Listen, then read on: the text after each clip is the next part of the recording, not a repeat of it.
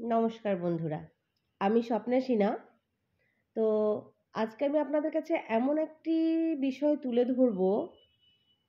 বিষয়টি হচ্ছে B positive মানে সব বিষয়ে যদি আমরা পজিটিভ দিক দেখি বা পজিটিভ ভাবি, তাহলে আমাদের লাইফে পজিটিভই ঘটনা ঘটে। অর্থাৎ আমরা যদি সবসময় নেগেটিভটাকে দূরে রেখে পজিটিভ চিন্তাভাবনা করি প্রত্যেকটি বিষয়ের মধ্যে। সব কিছুর মধ্যে আমরা ভালো দিকটাকেই ভাবি যে, যেটা করছে ভগবান মঙ্গলের জন্যই করছে হ্যাঁ যেটা হবে সেটা ভালোর জন্যই হবে, যেটা হয়েছে সেটা ভালোর জন্যই হয়েছে। তাহলে কিন্তু আমাদের জীবনে সবসময় পজিটিভ ঘটনাই ঘটে। তো সেই উদ্দেশ্যে আমি আপনাদের কাছে একটি ঘটনা বা গল্প তুলে ধরছি। তো এক দেশে এক রাজা ছিল। আর রাজার এক বন্ধু মন্ত্রী ছিল। তো সেই রাজার যে বন্ধু, যে মন্ত্রী, সে যে কোনো কিছু হলেই বলতো, বাহ বাহ, খুব দারুণ, খুব ভালো খুব ভালো। তো এই বিষয়টাকে মহারাজার পছন্দ ছিল না। বলতো, মন্ত্রী, তুমি সব বিষয়ে বলো, বাহ বাহ, খুব ভালো খুব ভালো, সবই কি আর ভালো হয়? খারাপও তো হয়। তখন মন্ত্রী তখন তাকে বলেন, রাজামশাই, আপনি যদি সব বিষয়ে ভালো ভালো বলেন পজিটিভ দিক দেখেন, তাহলে আপনার ভালো হবেই। বিশ্বাসটা মনের মধ্যে রাখতে হবে। হ্যাঁ? মানে বি পজিটিভ তখন রাজামশাই বলছি, ঠিক আছে, দেখাই যাক তোমার এই বি পজিটিভ কত সবসময় ভালো হয়। তো একদিনকে মহারাজা তার একটা তরোয়াল নিয়ে, খুব ধারালো তরোয়াল নিয়ে, সেটা নিয়ে নাড়াচাড়া করছেন হাত দিয়ে।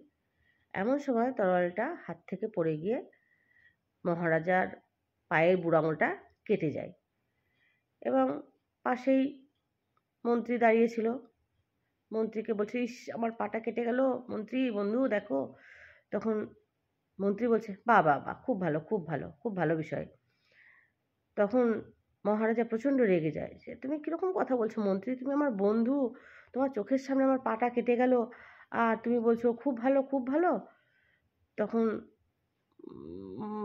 মন্ত্রী বলছে যে মহারাজা, যেটা হয় ভগবান মঙ্গলের জন্যই করে হ্যাঁ এটাকে আপনাকে মেনে নিতে হবে। তখন বলছে, আমার পা পেটে, কেটে গেল, আমার পা রক্তাক্ত হয়ে গেল, আমার বুড়ো আঙুলটা কেটে বাদ চলে গেল, এটা ভালোর জন্য কখনো হয়? হুম, তো খুব রেগে গেলেন মন্ত্রীর ওপর এবং রাজার হাতে যেহেতু পাওয়ার, সেহেতু রাজা বলেন মন্ত্রীকে ছ মাসের জন্য কারাগারে বন্ধ করে দাও। সে আমার ক্ষতিতে বলছে, খুব ভালো হলো? মন্ত্রী বলল, বাহ বাহ বাহ, খুব ভালো খুব ভালো। আমাকে কারাগারে বন্ধ করলেন। এটাও ভালোর জন্যই হলো, নিশ্চয়ই ভগবান মঙ্গলের জন্যই করলেন। তখন কিন্তু মহারাজা খুব রেগে গিয়ে বললেন, তুমি কি পাগল একটা? তুমি ছ মাসের জন্য কারাগারে বন্দি হলে সেটাও তোমার ভালোর জন্যই বলছো? তখন মন্ত্রী বলছে হ্যাঁ হ্যাঁ হ্যাঁ নিশ্চয়ই ভালোর জন্য।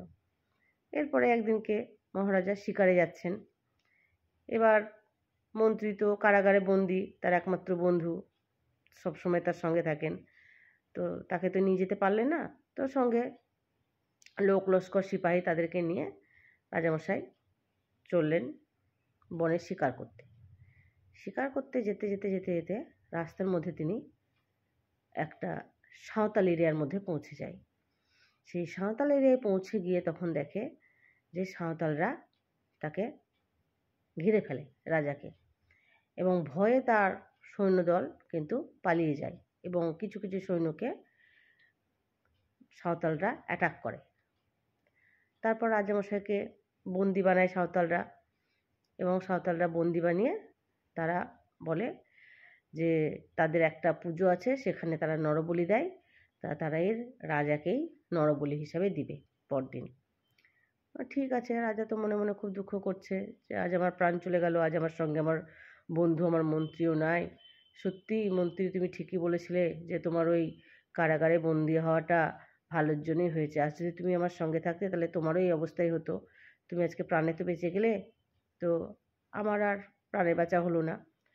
তারপর দিন সকালবেলায় রাজামশাইকে স্নান করানো হচ্ছে, বলি দেওয়া হবে বলে।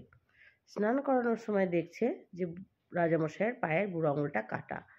তখন সাঁওতালরা তারা নিজের ভাষায় বলে যে, এই রাজামশাইয়ের বুড়ো আঙুলটা কাটা, তাহলে তো রাজামশাই আগে থেকে খুঁত শরীর, তাহলে এই খুঁতো শরীরে আর ঠাকুরকে বলি দেওয়া যাবে না বলে তখন তারা রাজামশাইকে ছেড়ে দেয়। রাজামশাই তখন সেই মন্ত্রীর কথাটা মনে মনে ভাবতে ভাবতে রাস্তায় চলে আসছে একা একা যে সত্যিই তো মহারাজা সরি, মন্ত্রী বলেছিল যে আমার পায়ের বুড়ো আঙুলটা কাটা হয়েছে, ভগবান ভালোর জন্যই কেটেছে। আজ যদি আমার বুড়ো আঙুলটা কাটা না থাকতো তাহলে আমার নিখুঁত শরীর থাকলে এই সাঁওতালরা আমাকে বলি দিয়ে দিত ঠাকুরের কাছে। তাহলে যেটা হয় ভালোর জন্যে হয়, তাহলে দুটো কাজই কিন্তু ভালোর জন্যই হলো। তারপরে তখন সে কোনো রকমে নিজের রাজ্যে ফিরে আসে। ফিরে এসে বলে, যাও, মন্ত্রীকে কারাগার থেকে ছাড়িয়ে নিয়ে এসো। ছাড়িয়ে নিয়ে আসে, দিয়ে মন্ত্রীকে বলে, মন্ত্রী, দুটো প্রশ্নের উত্তর তো আমি পেয়েছি তো তুমি যে বলেছিলে যে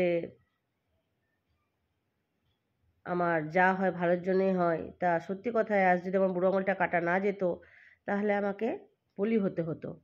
কিন্তু তুমি যে যে ছমাস জেলে ভর্তি থাকলে, তাতে তোমার কি ভালো হলো? তখন মন্ত্রী বলে, মহারাজ, আজ যদি আমি জেলে থাক, না থাকতাম, তাহলে আমি আপনার সঙ্গে যেতাম। তো আপনার শরীরে না হয় খুঁত আছে বলে আপনাকে বলে দিল না। তো আমার শরীরে তো আর খুঁত নাই, তাহলে তো আমি বলি চড়ে যেতাম। তাহলে এই জেলে থাকার জন্য আমার প্রাণটা বেঁচে গেল। তাহলে বুঝতে পারছেন তো, ভগবান যা করে মঙ্গলের জন্যই করে। তাহলে সবসময় বি পজিটিভ তাহলে ভগবান ছোটো খাটো কোনো ক্ষতি হলে মেনে নিতে হবে যে এই ক্ষতিটাও বড় কিছু থেকে বাঁচানোর জন্য করেছে। তো বন্ধুরা, আমি আপনাদের কাছে এটাই বলব যে ভগবানের ওপর ভরসা রাখুন।